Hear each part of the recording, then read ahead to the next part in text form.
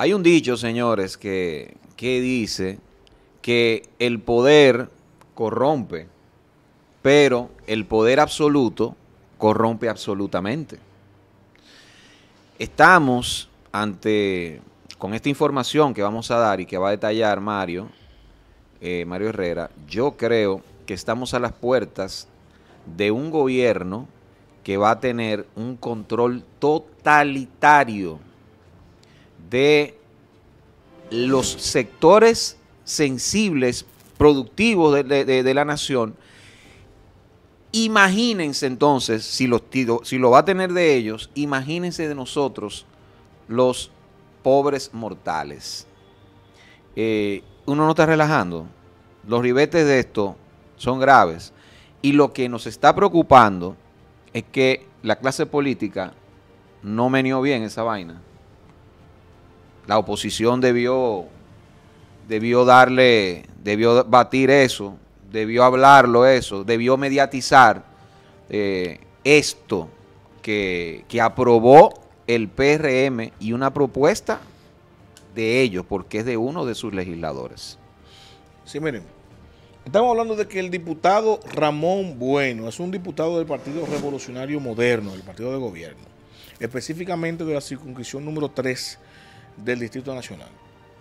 Ustedes saben que fue noticia en 2022 que se introdujo un proyecto de ley para convertir el Departamento Nacional de, Inteligencia en Dirección Nacional de Inteligencia, eh, DNI.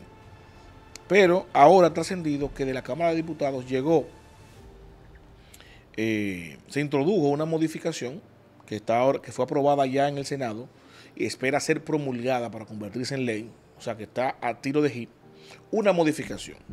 Y esta modificación a la ley que crea, ¿verdad? que rige al DNI, lleva un artículo, artículo 11, que lo voy a leer para que ustedes primero eh, le- eh, escuchen lo que dice textualmente para nosotros poder analizar. Artículo número 11, cito, entrega de información. Todas las dependencias del Estado, instituciones privadas o personas físicas, sin perjuicio de las formalidades legales para la protección y garantía de derecho a la intimidad y al honor personal, estarán obligadas a entregar a la Dirección Nacional de Inteligencia todas las informaciones que éstas requieran, sobre las cuales se tengan datos o conocimientos relativas a, a las atribuciones señaladas en el artículo 9, 9 de esta ley para el cumplimiento de sus funciones de inteligencia y contrainteligencia a los fines de salvaguardar la seguridad nacional. Cierro cita. Estamos hablando de que este artículo que se introduce como modificación le da la autoridad y el poder a una dependencia del Ejecutivo a pasarle por encima al Poder Judicial para obligar a los ciudadanos, empresas, a cualquiera, ¿verdad? A entregarle todas las informaciones que requiera el DNI en cualquier momento. Estamos hablando de que una acción de esta naturaleza, por ejemplo, si una investigación arroja que necesitan obtener las informaciones privadas de una empresa tal X, ¿verdad? Secreto de empresarial, Sus conversaciones telefónicas, todo eso. Exacto. En lugar de tener que ir a un tercero impar- imparcial para ver si eso es pertinente y que un juez autorice, el DNI, según esta ley, tiene la autoridad de ir personalmente y requerir y buscar esa información, sin que se entere y lo autorice el Poder Judicial, sin un tercero imparcial, solamente con la anuencia y la decisión unilateral del Poder Ejecutivo. Escuchen bien, si el Poder Ejecutivo, a través del DNI, que hoy lo dirige un civil político ligado directamente al presidente de la República, Ni lo, ni lo dirige el Ministerio, el Ministerio Público, ¿no? no, no, no. El DNI re- responde directamente al presidente de la DNI se República. Sí, reporta al porque, gobierno. sí, porque era, un, era un departamento, al convertirlo en dirección ahora, era un dep- departamento de, de- de un cuerpo castrense. Ahora es independiente, la, la- una unidad de inteligencia, una CIA. Que le pongan, que le pongan ahora, lo bauticen ese departamento, esa dirección, ¿no? Ajá, dirección. Y le pongan Johnny Aves García. Sí. Eh, eh. No, no, porque ya. Edificio Johnny Aves Entonces, García. pero no, pero con más poder. porque lo otro era clandestino. Esto tiene la, auto- la, la anuencia de que legalmente, legalmente, ese señor ahora quien esté ahí en la Dirección General, eh, la Dirección Nacional de Inteligencia, puede requerir, si entiende, bueno, la información que tiene Maracayo en su celular ahora, sus, conversa- sus conversaciones de WhatsApp, son de interés nacional. Ah, no, que eso es muy su- subjetivo porque usted lo que está enojado porque Maracayo critica al, al- al gobierno. No, no, no, eso es seguridad nacional. Así, Maracayo, pase el celular y toda la información suya. Ah, no era seguridad nacional. Ah, discúlpeme. Bye, bye. celular otra vez. Bye bye, porque lo tiene autorizado por ley. No tienen que ir ni al tribu- a ningún tribunal, ningún juez tiene que meterse. Directamente el DNI puede ir y requerirle eso. A un ciudadano cualquiera, a usted, a mí o a cualquier empresa o institución pública del Estado. Escuche bien lo que, lo, lo que se está armando aquí y el nivel de, de vulnerabilidad que tenemos. Usted puede pensar o decir o entender, conchale, cualquier acción, ¿verdad? Que se tome por la seguridad nacional es pertinente y estoy de acuerdo. Estoy de acuerdo, pero esto es muy ambiguo y se presta a cosas que nada tienen que ver con la seguridad nacional. Pero fíjate tú que Estados Unidos, o sea,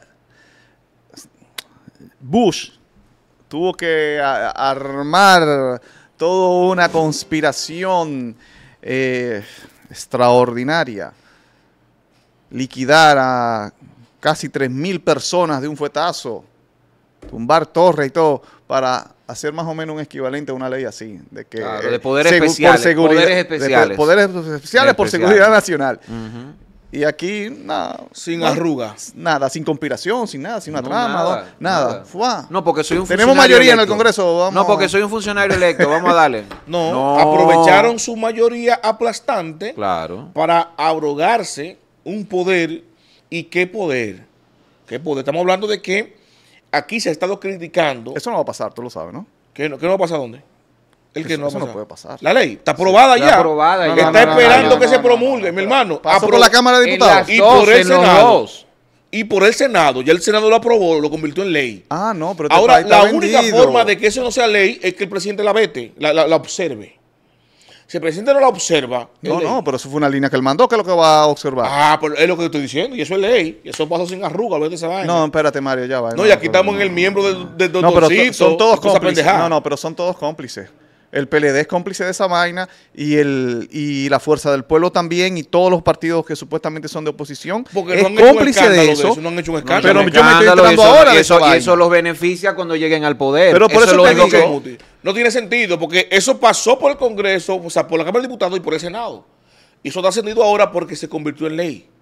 Yo no he visto, como dice Maracayo, ningún diputado del PLD ni de la Fuerza del Pueblo denunciando No, eso. ninguno No. pelean por ni eso. quejándose de eso. Los compararon a todos. No, y hay que ver, hay No, que ver. hay que ver si lo hicieron ahora repentinamente. Yo, yo voy a, yo tengo que escarbar a ver si esto fue repentino. No, ¿y cómo fue la votación, Mario? Y si fue, ¿Cómo fue la votación? no, pero ¿Cuál que, diputado? No, pero ta, por más que tú brinques y salte, eso pasó por un lado y, y de- después por la segunda cámara. Y para pasar de una cámara a otra, eso dura varios días. Y eso debió enterarse hace varios días que por lo menos un legislador de la oposición no sabe. E hicieron mutis. ¿Por qué? Esto es muy, esto es grave, No, señores. Pero, pero ven acá, men. Esto es grave, gravísimo. No, y en más tiempo de elecciones, Mario, en tiempos de elecciones. No, total, porque- uno, uno como comunicador que diga algo que le incomode al gobierno. Te jodiste. Y ya uno se jodió.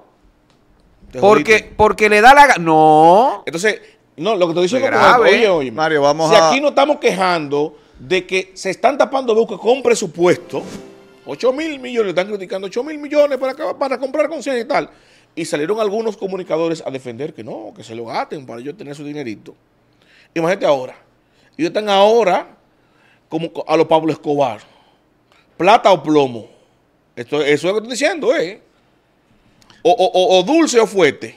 Mario, Así olvídate, olvídate de, de tu iPhone, de tu Samsung y vamos a, a volver Análogos. a análogo o, o a, o a BlackBerry análogo, qué sé yo. Pero Análogo, no, ya no no podemos, hablar por no aquí. podemos. Para lo- Palomas para- mensajeras. Algo No, así. análogo. Esto es increíble y el mutis de la... Óyeme, yo estoy, yo estoy consternado. Yo voy a indagar un poquito para profundizar, a ver en qué tiempo se, se, se aprobó esto, porque yo me resisto a creer que haya un contubernio para esta ley entre el partido de gobierno y la oposición. Esto es grave, señores. Pero es un retroceso de 60 años atrás a la democracia. Total. Y auspiciado, dirigido y orquestado por el partido de gobierno mayoritario. Y, y aparentemente, porque voy a decir aparentemente para cuidarme un poco, para darle el beneficio de la duda. ¿Verdad? Y aparentemente, ¿verdad? Con anuencia de la oposición. Esa vaina. Claro, está claro, si lo aprobaron. Entonces, yo veo, porque yo estoy viendo en las redes sociales, crítica de la oposición, de eso, en las redes sociales, de muchos dirigentes, yo he visto. Ahora, hay legisladores que estaban ahí adentro, que debieron dar la, la voz de alerta, que cogen el hemiciclo para hablar de préstamo, cogen el hemiciclo para responderle a otro candidato, aspirante, para denunciar que están usando los recursos de Estado para ganarle. Cuando en su momento hacían lo mismo. Coño, pero para denunciar esto no. Para quejarse de esto no. Pero Mario, es que esa Para que, hagamos, para que hagamos, coño, una marcha ahí frente al Congreso. Si hay una vaina que amerita una jodida marcha, y más de los medios de comunicación como nosotros, frente al Congreso, una vaina como esta. Pero que afilar cuchillo para su propia garganta. Porque hoy, y más como se mueven las lealtades en este sistema político, donde el que tiene el poder es el que decide, que tú, que tú entregues las nalgas de esa manera, como ciudadano, como, como político, como empresario, como, como persona, como ciudadano, eso no tiene ribetes. Es que coño, ni cuando Balaguer, porque Balaguer hasta guardaba formas, mi hermano. Vamos a ver si el, presi- si el presidente la, la- la- la observa. Tanto que le dijeron a Danilo di que el perínclito de Arroyo Cano. No, este, este sí es real perínclito, el perínclito de, De- del Líbano. Del Líbano. Coño, men. Esto no puede ser, esta vaina no puede ser, ya, esto no puede... Eso es una falsa noticia, Mario, debe ser. Eso. Es que, es que no me cabe en la No, cabeza. falsa o sea, noticia, pero está publicado. Yo, pues yo te enseñé, eso está publicado en la página, en la página oficial del Senado de la República. Del Senado de la República. Y, la- ya, y ya la recogen todos los medios de comunicación. Aprueban ley con modifica- mo- modificación de ley, artículo 11, ta, ta, ta, que establece que se debe entregar la información. Ahí lo recogen todos los medios de Dios comunicación mío, pero ¿qué es esto? todos los medios de comunicación. Entonces, lo recogen ahora. So, el presidente ahora tiene la oportunidad de reivindicarse observando esta ley. Él tiene la oportunidad de reivindicarse, a ver si la va a observar. Porque, yo te voy a poner un ejemplo. El escándalo que se le armó al presidente. No, y llamarle la atención públicamente a Ramón Bueno que sometió esa vaina. No, porque él fue mandado de sinvergüenza. Óyeme, es un sinvergüenza eso. Es un sinvergüenza ese diputado. ¿Quién? El Ramón Bueno. ¿El de la iniciativa? El, sí, es un sinvergüenza. Obviamente, enca- encabeza los sinvergüenzas. Coño.